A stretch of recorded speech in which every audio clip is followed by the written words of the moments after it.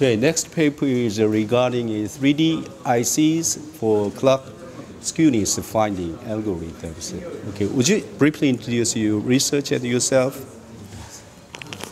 This paper is for balanced clock skew in 3D ICs considering the thermal effect. If the hotspot is generation, the resistance of wire is increased. And then the increase of resistance of wire is affect the delay. So if the, if the temperature is not constrained when the clock skew is generations, then the uh, balanced clock skew point is not best point for balanced clock skew.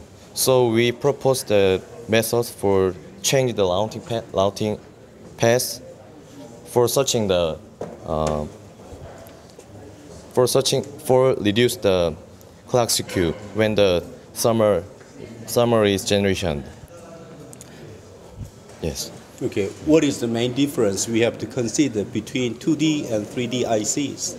The 2D IC is the only consider the horizontal region, but mm-hmm. 3D IC is considering the vertical effect or vertical vertical thermal effect. Mm-hmm. So we propose the methodology for searching the routing path for reduced clock skew.